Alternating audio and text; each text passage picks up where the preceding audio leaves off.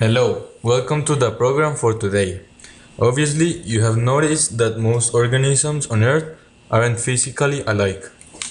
But wait, even though they aren't alike, most organisms have a common ancestor from where they evolved. You're right, this is a result of evolution. One of these results is called homologous body structures. Uh, but what is it? Well, homologous body structure is when a group of organisms have a common ancestor. They don't have to be physically common, but their bone structure should be alike, as it is shown in the screen. The turtle, mammal, alligator, and bird have a homologous body structure with the ancient lobe-finned fish. So we could say that the elephant is related to the mammoth that you have with the long-necked dinosaur and the tiger with the toothed saber. But not only animals have hom- homologous structures, plants too. Yes, that's right.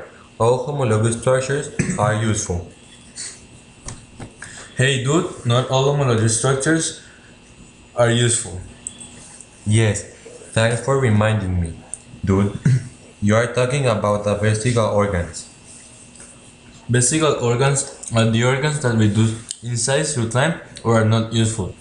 One example is the one shown on the screen. You can see how the lizard, through time, loses its legs evolving to an eel. Some vestigial organs of humans are the appendix, wisdom, wisdom teeth, coccyx, and men's nipples. But why would an organism possess organs with little or no functions? Maybe because the vestigial organs do not affect the organism's ability to survive and reproduce. Now, let's talk about the analogous structures are also a result of evolution. What is it? An analogous body structure is when a group of animals don't have a common ancestor, but they do the same thing.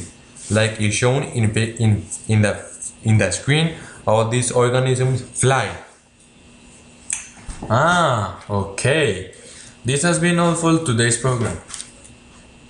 Thanks, for watching us. Never say never.